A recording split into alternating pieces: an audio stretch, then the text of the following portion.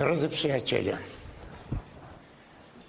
drogie dziewczyny, drodzy chłopcy, którzy uwierzyliście, że Polska może być niepodległa, którzy uwierzyliście, że możecie osiągnąć niepodległość, którzy osiągnęliście niepodległość. Dziękuję. Bardzo dziękuję. Kłaniam się Wam nisko. Dziękuję.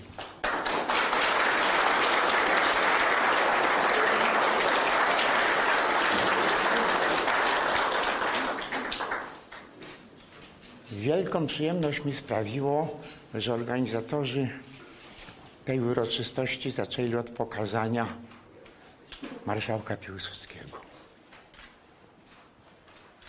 I przypomniało mi się wtedy, co marszałek Piłsudski powiedział kiedyś do grupy, no nazwijmy to tak, nie najmądrzejszych polityków. Już nie chcę używać innych słów. I marszałek Piłsudski powiedział teraz, jak umrę, to nie wdajcie się w wojnę. Bo jak się wdajcie, wdacie w wojnę, to przez 50 lat Polska będzie pod zaborem. 1 września 1939 roku zaczęła się tragedia Polski. 50 lat później, 1 września, dokładnie 50 lat później, 1 września 1979 roku, równocześnie w Warszawie i równocześnie w Londynie, w Warszawie przed grobem nieznanego żołnierza na placu, który wtedy nazywaliśmy Placem Zwycięstwa Józefa Piłsudskiego i w Londynie na Światowym Kongresie Polski Niepodległej, nie całej, nie całej emigracji, tylko tej emigracji, która bardzo chciała walczyć o Polskę niepodległą. Upłynęło dokładnie 50 lat. Te 50 lat, o których mówił marszałek Piłsudski. I dzisiaj chyba warto to przypomnieć. Są różne rocznice. Różne rocznice związane z naszą walką. Przyznam się, że mnie dzisiaj trudno jest patrzeć tylko na 1 września 1979. Zresztą ten dzień spędziłem akurat w areszcie milicyjnym. Ja przypominam sobie rok 1949, kiedy po licznych, rozmaitych takich indywidualnych próbach, które wszystkie były głupimi, szczeniackimi próbami, wtedy, wprawdzie nie 1 września, ale gdzieś w końcu 1959 roku nawet na początku 1950 roku, ja tych dat, dat dokładnie nie pamiętam, spotkałem się z ludźmi, spotkałem się z człowiekiem, który trafił do walki o niepodległość w sierpniu 1914 roku. To był pułkownik Pluta Czachowski. Oni wszyscy wtedy wychodzili z więzień. Wychodzili z więzień i rozpraszali się. Ale pozostawała grupa niezłomnych. I gdzieś między rokiem 1956 a rokiem 1949 ta, ta grupa niezłomnych, dokładnie nie potrafię powiedzieć, kiedy to było, ta grupa niezłomnych postanowiła rozpocząć walkę o niepodległość. Początkowo tylko przygotowania w więzieniu, tylko przygotowania w konspiracji, w bardzo głębokiej konspiracji, w konspiracji bardzo profesjonalnej, nie jakiejś tam takiej pseudokonspiracji, w bardzo ścisłej konspiracji ludzie, którzy przeżyli różne klęski, przeżyli więzienia, przeżyli obozy, cudem się uratowali z życiem, postanowili walczyć o niepodległość Polski. I wtedy powstała koncepcja, która się najpierw nazywała Schody, a później w naszych czasach nazywała się koncepcją góry lodowej. Wynurzymy się, wynurzymy się, budując coraz, coraz bardziej zwarte formacje, coraz bardziej odważne formacje, najpierw w konspiracji, później po, poza konspiracją. Przygotowujemy wszystkie, przygotowujemy późniejszą działalność. Trwało to bardzo długo, dla mnie, dla mnie straszliwie za długo. Ja miałem te, byłem przecież jeszcze młody bardzo i te lata płynęły dla mnie bardzo wolno, dla nich, dla tych starszych nie. I potem, gdy dojrzeliśmy, gdy Polska dojrzała do politycznego już oporu, gdy zaczął się rodzić, zaczęła się rodzić jawna opozycja. Byliśmy chyba pierwszą grupą, która podjęła decyzję o, o, jawnej, o jawnej opozycji, ponieważ tą decyzję podjęliśmy we wrześniu 1975 roku w następstwie kongresu w Helsinkach, który, jak nam się zdawało i słusznie, ułatwiał nam możliwość rozpoczęcia jawnej działalności. I mijały etapy, kiedy z tej działalności coraz bardziej jawnej, coraz bardziej odważnej, doszliśmy do najwyższej formy zorganizowania, czyli formy partii politycznej. I, i tą Konfederację Polski Niepodległej, żyją przecież jeszcze do dzisiaj ludzie, którzy to pamiętają, zaczęliśmy w styczniu 1979 roku. Przedłużyliśmy sam termin ogłoszenia między innymi po to, żeby trafić na o czym wiedzieliśmy, żeby trafić na datę e, Światowego Kongresu Polski Walczącej. I na Światowym Kongresie Polski Walczącej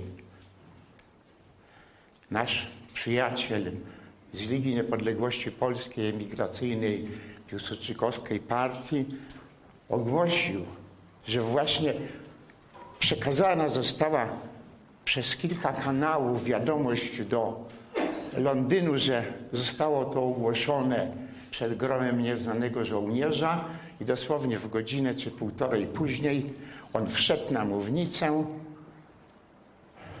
i mówi, powstała Konfederacja Polski Niepodległej. Mamy Piłsudczykowską niepodległościową partię w kraju. I taki był nasz początek. Kim byliśmy? Byliśmy oczywiście ludźmi o różnej orientacji politycznej. Nie, dla, nie było dla nas ważne, czy ktoś jest bardziej lewicowy, czy ktoś jest bardziej prawicowy, czy ktoś w ogóle nie bardzo się interesuje polityką, ale chce, żeby Polska była niepodległa. Nie było to dla nas najważniejsze. Zresztą dzisiaj też widać, jak w różnych miejscach pojawiają się ludzie, którzy wyrośli z KPN-u, z Konfederacji i bardzo często mają różne, różne przekonania. Nas łączyło jedno przekonanie. Przekonanie, żeby Polska odzyskała niepodległość.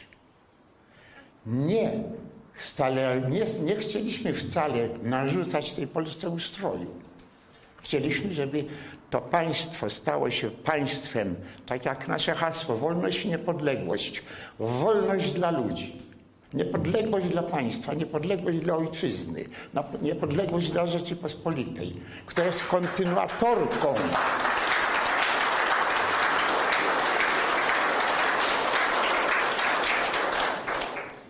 I były dwie cechy, które nas wyróżniały. Te cechy nas wyróżniały zarówno w opozycji, w czasach walki o niepodległość, ale te cechy nas wyróżniały także w tym okresie, kiedy Polska już niepodległość odzyskała. Dwie cechy. Pierwsza cecha.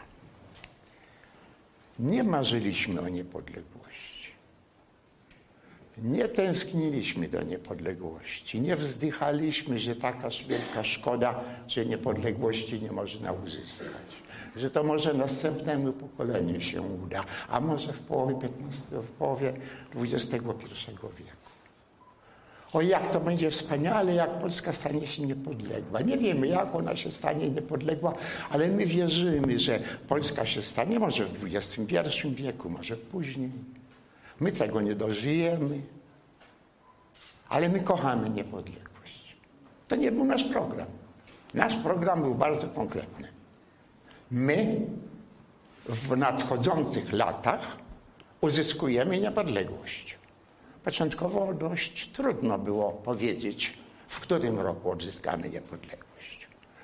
Zacząłem to mówić bardzo wyraźnie, jak na, w pierwszej połowie, na kilka miesięcy, miałem jakieś tam kłopoty ze zdrowiem, wyjechałem na zachód i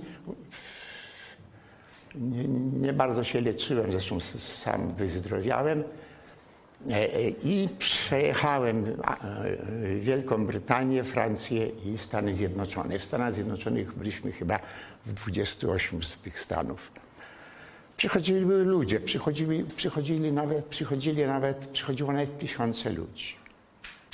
Pamiętam, że do posku polskiego, takiego domu, skrót jest posku Polska, Mniejsza z tym czteropiętrowy wielki dom, który Polonia londyńska zbudowała, emigracja londyńska zbudowała. Przyszło tam chyba z 20 tysięcy ludzi, które wszystkie pomieszczenia wypełnili. I ja wtedy już wiedziałem, że mogę mówić o konkretnych datach. Nie nawet nie dlatego, że widziałem tych ludzi przed sobą, ponieważ w Londynie ludzi było stosunkowo łatwo zgromadzić. Znacznie trudniej, trudniej przecież w Polsce. I ja wtedy mówiłem, za trzy lata najpóźniej Polska będzie niepodległa. Za trzy lata najpóźniej Polska będzie niepodległa.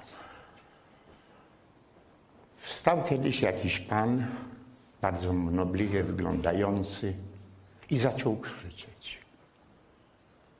Zbrodniarzy, Zbrodniarze, zbrodniarze, trzy razy, ja to do dzisiaj pamiętam, trzy razy, zbrodniarze, znowuż chcecie naszą młodzież rzucić szablami na karabiny maszynowe.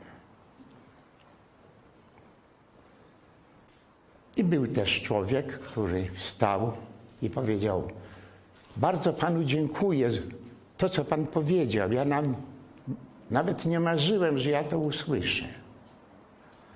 Pan nam opowiada, że Polska będzie za niepodległa. Ja zamykam oczy, ja słucham, ja jestem szczęśliwy. Pan pierwszy mnie to mówi. Ja wiem, i tak dalej ten człowiek mówi, ja wiem, że to nieprawda, ale jak to przyjemnie słuchać. Ja dziękuję za to, że Pan to mówi. Jak to przyjemnie słuchać. To było na wiosnę 97, na wiosnę dwa lata później, na wiosnę 99 były rozstrzygające wybory. Czy byliśmy jedyni, którzy ko kochali niepodległość? Nie. Jak przed chwilą powiedziałem, takich było znacznie więcej. Nie, nie cała opozycja demokratyczna kochała niepodległość. Niektórzy uważali, że to jest burżuazyjny, prze, burżuazyjny przesąd. Są dwa, dwa niepodległe państwa na świecie i musimy się tylko z tym zgodzić. Ale my, to, my musimy w granicach obozu sowieckiego starać się walczyć, żeby coś tam uzyskać, żeby socjalizm miał ludzką twarz, e, żeby to, żeby owo i tak dalej. Byli ludzie, którzy mówili, jakaś, jakaś pani z opozycji, zresztą nawet nawet w tej opozycji się licząca, na początku Solidarności, ja wtedy siedziałem w więzieniu i powiedziała mojej żonie, co, co mnie po latach zresztą żona powtórzyła, wiesz Majka, ty jesteś taka fajna dziewczyna, ale dlaczego, skąd wam się ta niepodległość wzięła? To przecież pachnie faszyzmem. To przecież pachnie faszyzmem. To był, nie dokładnie nie mogę powiedzieć kiedy, ale to gdzieś tam na przełomie 80 a 81 roku. Otóż byli tacy, dla których niepodległość pachniała faszyzmem. Byli tacy, którzy uważali, że już nie ma niepodległych państw na świecie, a więc właściwie o co chodzi, o co my walczymy. Jakaś bzdura, to wariaci. Byli tacy, którzy mówili, no przydałoby się państwo niepodległe, ale i bez tego sobie damy radę. Byli tacy, którzy mówili, no dobrze by było, żeby było to państwo niepodległe, może dożyjemy, ale chyba nie dożyjemy.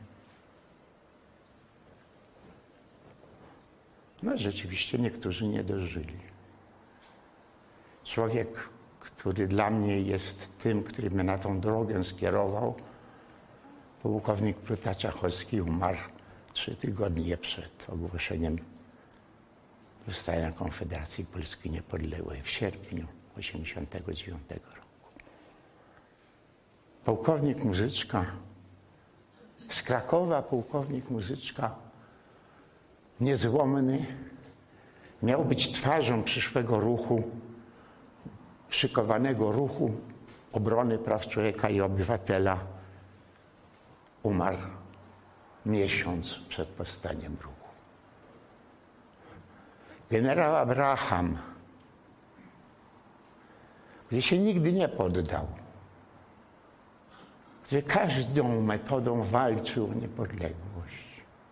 Umarł 21, 25 sierpnia 1976 roku na niecały miesiąc przed powstaniem jawnej opozycji. Oni odchodzili, przychodzili nowi, znajdowali się nowi, tych nowych było coraz więcej. Z towarzystwa starszych dla mnie, oni nie byli wcale tacy starzy, ale dla mnie wtedy byli starsi, o pokolenie starsi. Spośród tych, którzy nas uczyli, nikt chyba nie dożył niepodległości. Pułkownik Sikorski, Antoni Sikorski umarł w 1988 roku.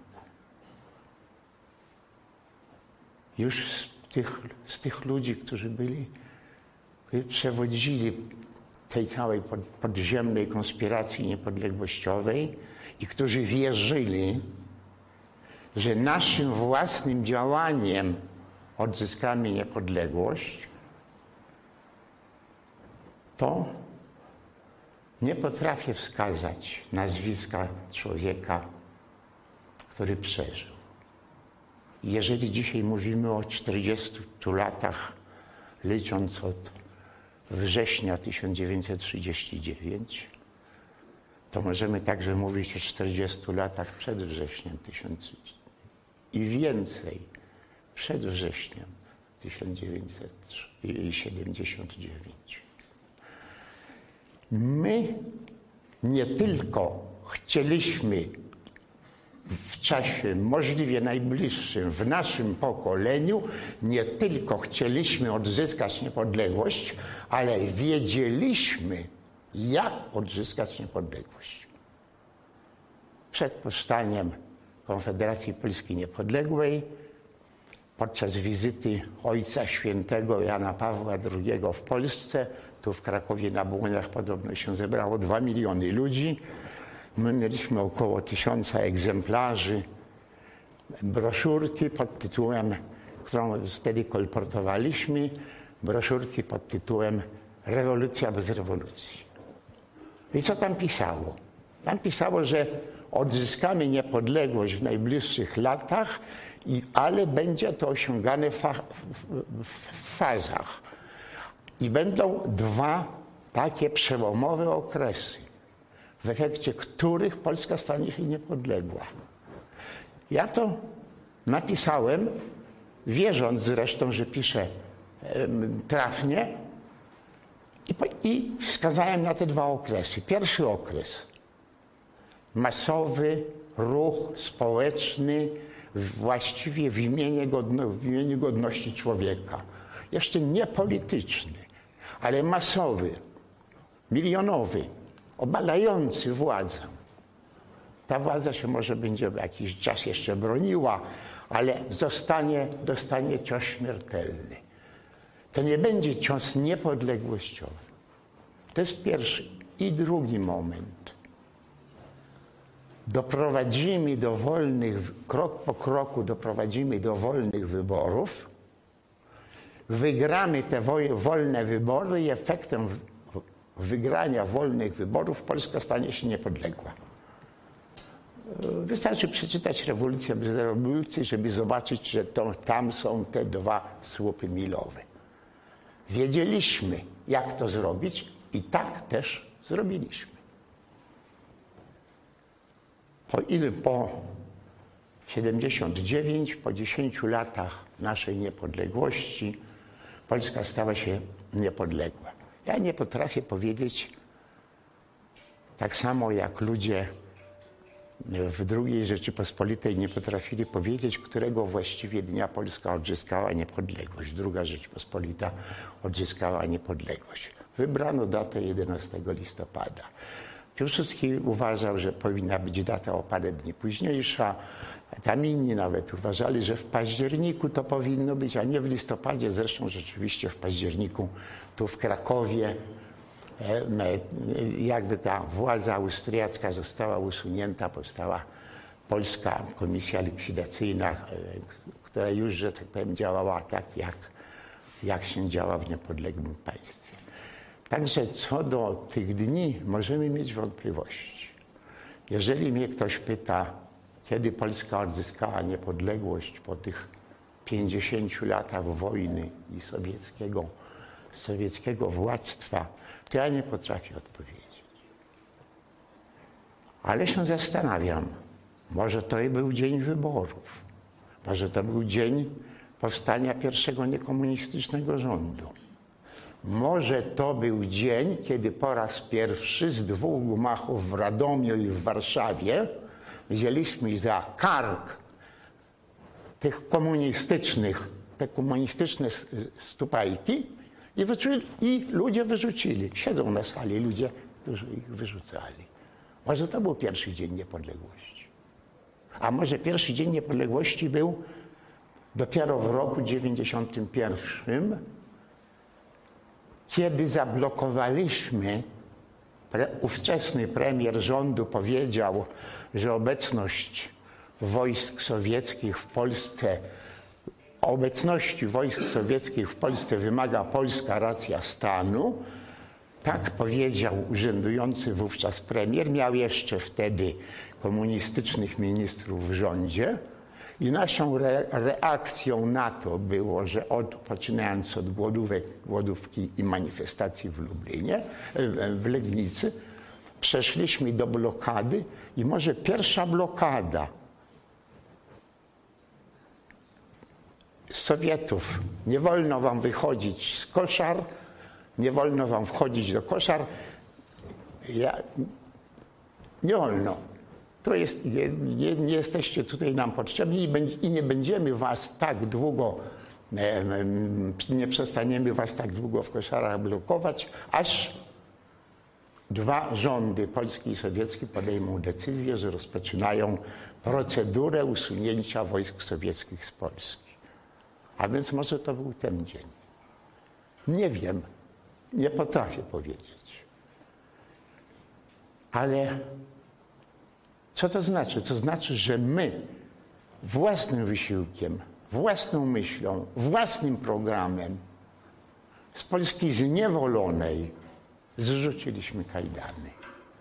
Inni także w tym uczestniczyli, ale do walki o niepodległość dołączali się późno. Dołączali się późno, na ogół już chyba wtedy nawet e, kiedy ta niepodległość faktycznie była. I to jest pierwsza cecha, o której chciałem powiedzieć i to powiedzieć obszernie. Byliśmy jedyną partią, która nie mówiła, że kocha Polskę, że kocha niepodległość, tylko mówiła, odzyskamy niepodległość i wiemy, jaką metodą to zrobimy. Zajmie to ileś tam lat nam, ale do tego doprowadzimy. Nie ma drugiej partii w Polsce, która do tego by doprowadziła. Wszyscy się potem, nie włączając e, byłej, środowiska byłych PZPR-owców, a przecież było ich chwilami 3 miliony w PZPR-ze, wszyscy potem się do nas dołączyli, ale oni się dołączyli. I my zresztą za to, że, że byliśmy pierwsi, to musieliśmy zapłacić. I druga sprawa, druga cecha Konfederacji Polski Niepodległej. Co jest naszym celem? Naszym celem jest interes Polski, interes Rzeczypospolitej. Nie liczy się interes Konfederacji Polski Niepodległej. Liczy się interes Rzeczypospolitej. Nie dla posad, a dla zasad. To nie wiem, kto wymyślił to hasło, ale ono zostało wymyślone i chyba zostało użyte na jakiejś konferencji tutaj, tutaj właśnie w Krakowie. Nie dla posad, tylko dla zasad. Łatwo to było powiedzieć, kiedy Polska nie była niepodległa. No bo oczywiście jak Polska była zależna, to żadne posady nam nie przysługiwały. Ale jak Polska stała się niepodległa, to w Konfederacji zaczął się niedobry proces, a mianowicie taki proces. Dlaczego wszystkie inne partie walczą o własny interes? A dlaczego my nie walczymy o własny interes? Obecny tutaj Krzysztof Król podczas jakiejś rozmowy, ponieważ była, e, była e, jakaś propozycja, żeby Konfederacja znalazła się w rządzie e, koalicyjnym, premiera w ówczesnym czasie Pawlaka, wicepremiera Tadeusza Mazowieckiego i, ja rozmawiałem na ten temat z Mazowieckim, Krzysztof Król rozmawiał akurat z Pawlakiem. I my mieliśmy tylko jeden warunek. Z naszego, proszę bardzo, jeżeli uwzględnicie rozmaite elementy także naszego programu. My nie przychodzimy do rządu dla posad, tylko przychodzimy dla zasad. Żeby iść dla zasad, to oczywiście ten rząd musi mieć program, który nasze zasady uwzględni. I Krzysztofowi powiedział premier Pawlak, nie rozumiemy was. Przecież my, PSL, jesteśmy partią, która da, nam, da wam najwięcej stanowisk ministerialnych. Jakieś tam programy, jakieś tam zasady. No bierzcie ministerstwa. A inny, inny może nie polityk, a działacz związkowy bardzo wysokiego, ogromnie wysokiego szczebla powiedział mi, ale bierzcie środowisko, bo tam najwięcej jest pieniędzy. Weźcie Ministerstwo Środowiska, najwięcej pieniędzy. Żadnym innym ministerstwie tylu wolnych pieniędzy nie ma. I teraz, dlaczego się Konfederacja zeszła, dlaczego zeszła ze sceny politycznej? Ponieważ zwyciężyła zasada, że nasz interes, interes naszej grupy, mój osobisty interes, moje pieniądze, to, to mnie się należą. Dlaczego w, w Unii Demokratycznej mogą brać pieniądze, a my musimy dawać pieniądze KPN-owi. Przecież nasi posłowie byli obciążeni podatkiem na rzecz KPN-u. W Unii Demokratycznej dają im pieniądze, a w KPN-ie zabierają. W PSL-u dają pieniądze. W SLD dają pieniądze. W ZHN-ie dają pieniądze. A wy nam zabieracie? Najpierw pojedyncze osoby.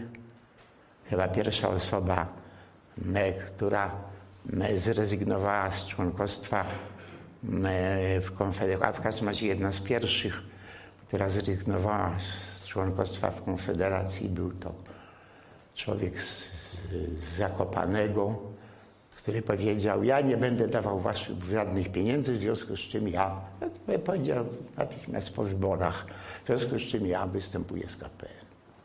I przecież i byli tacy przecież dla, dla stanowiska, dla pieniędzy. Śmiercią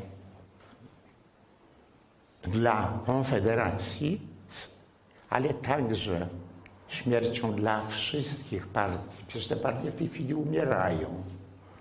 Te partie się same gubią na tych pała, pała, pałęczach nóg.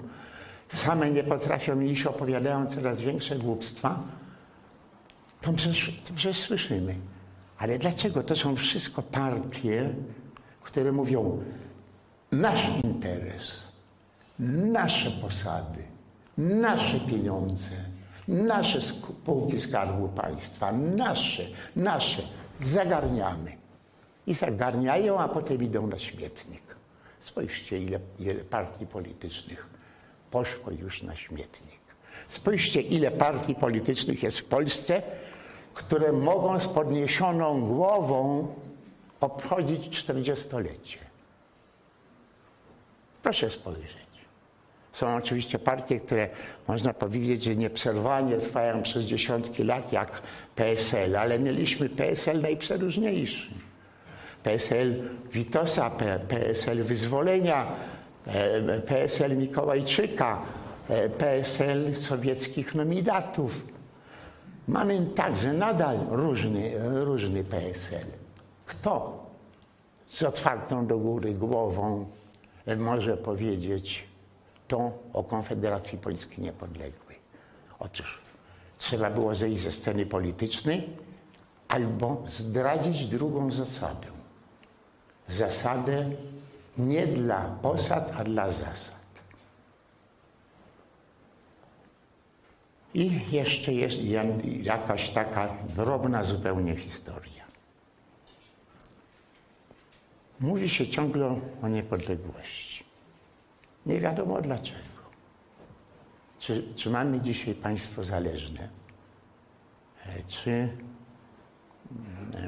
Jarosław Kaczyński jest, ja nie wiem, nominatem Sowietów, nominatem Amerykanów, nominatem czy, e, czy Tusk był e, nominatem Bóg wie kogo, e, czy Mazowiecki był nominatem, czy możemy po kolei wymieniać tych, tych premierów. Polska stała się niepodległa. Nie wiemy dokładnie którego dnia, ale to nie jest ważne. Polska się stała niepodległa w tym okresie 1980, 1989 1990 roku stała się niepodległa i jest niepodległa. Jeżeli ktoś dzisiaj mówi, my będziemy walczyli o niepodległość, to znaczy, że to jest facet, który zakłada, że Polska się znajdzie znowu w niewoli. Jak, rzeczywiście, jak, jak będzie tak szło, jak idzie, to być może się znajdzie ale, ale na razie się nie znalazła. Ale na razie się nie znalazła. Nie ma żadnej partii niepodległościowej po roku 1990, ponieważ wszystko, trudno nazwać tak, że Konfederacji Polski Niepodległej partią niepodległościową została nazwa, ale my nie walczyliśmy już o niepodległość. Walczyliśmy o to, żeby niepodległa Polska była lepsza. Jeżeli ktoś mówi, walczymy o niepodległość, to znaczy, że nie wierzy w Polskę albo jest głupcem, albo jest głupcem. I o tym, trzeba, o tym trzeba pamiętać. Jeżeli będziemy chcieli obchodzić po powstanie warszawskie, to proszę nie mówić. My byśmy tak samo zginęli w powstaniu warszawskim, jak ci, którzy zginęli. Proszę tego nie mówić. Ponieważ ci, którzy mówili w powstaniu warszawskim, jesteśmy gotowi iść na śmierć, ginęli. A ci, którzy dzisiaj mówią, my byśmy się tak samo zachowali, chcą mieć order. Chcą mieć order, chcą mieć pieniądze. I dlatego tak mówią. Albo chcą mieć po prostu tylko zwykłą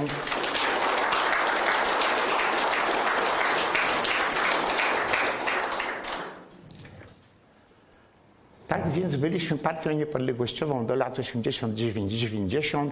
Później się nasze losy tak potoczyły, jak Państwo znacie.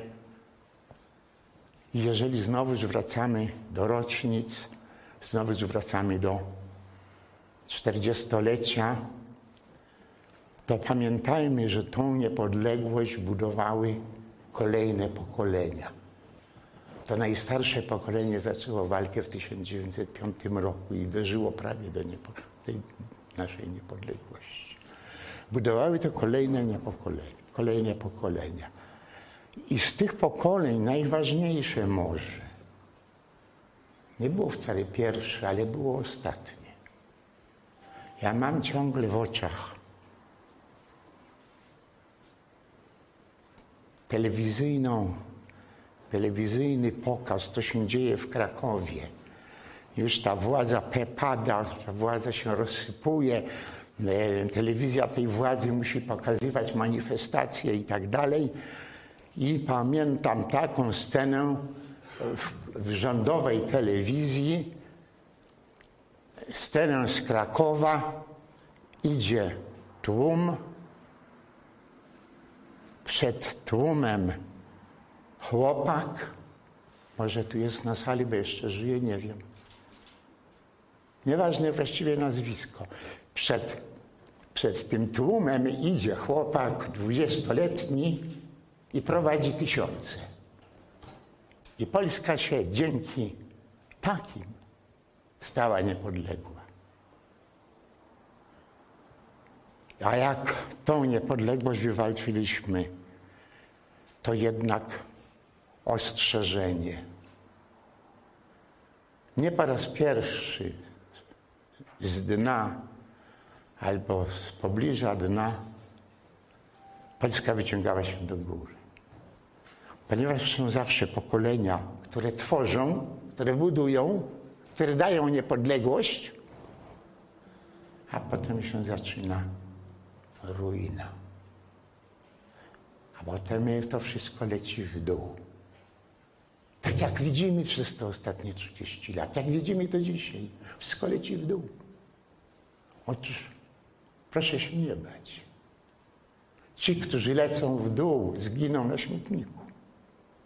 Powstanie nowe pokolenie, nowy chłopak przed tłumem, nowa polska niepodległość i miejmy nadzieję, że rozsądna, że taka, która nie będzie na, narażona, nie będzie się i narażała i nie będzie narażona. Patrzmy w przyszłość.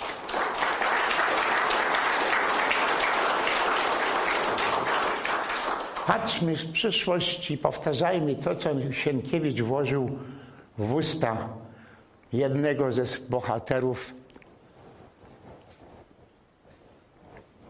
z wszystkich tych strasznych terminów wyszliśmy i wyjdziemy. Dziękuję.